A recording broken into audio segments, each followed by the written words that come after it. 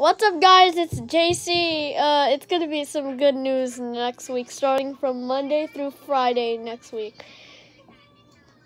If your doors are fun, you're gonna like this. No Paw Patrol marathon, but a Peppa Pig marathon. See? 30 minutes, one hour, two hours, three hours, four hours. Come Blue's Clues and you interfered?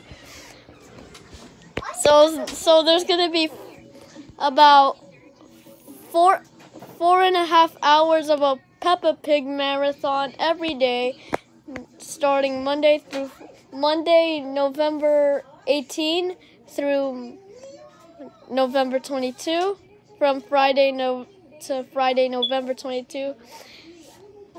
I can't believe it. If your doors are fun, you're very excited. Bye.